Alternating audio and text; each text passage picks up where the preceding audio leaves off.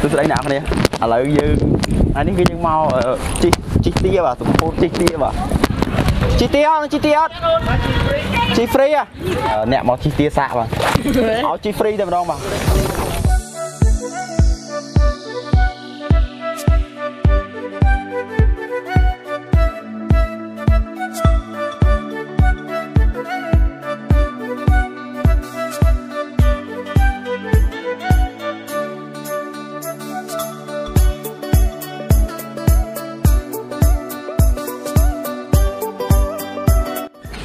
អូខេបាទឥឡូវខ្ញុំនៅលើទូកជាមួយជាមួយពូបាទ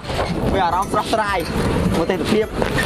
លោកពូមានអារម្មណ៍យ៉ាងណាដែរលោកពូអឺសបាយយើងសប្បាយពីមុនមកយើងអត់ដែលមានសេវាកំសាន្តអញ្ចឹងទេឥឡូវនេះអឺ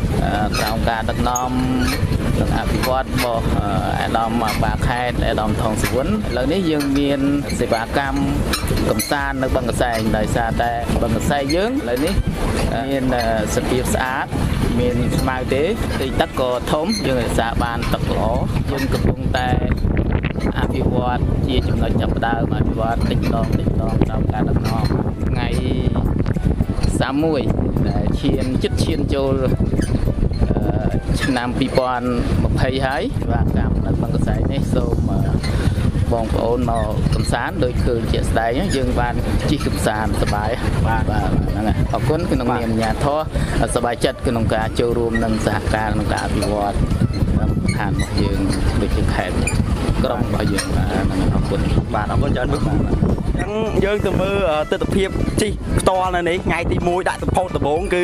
ជីសាក់ទាំងអស់គ្នាហ្វ្រីតែម្ដងបាទប៉ុន្តែបន្ទាប់មកអ្នកទាំងអស់គ្នាបើចង់មកជីគឺអឺគិតលុយក្នុងម្នាក់10000 10000អាចជីបាន1ម៉ោង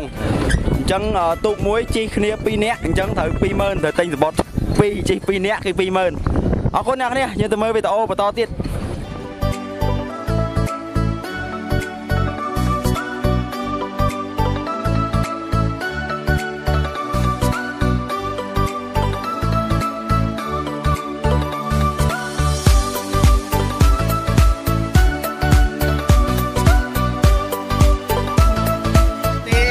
迪，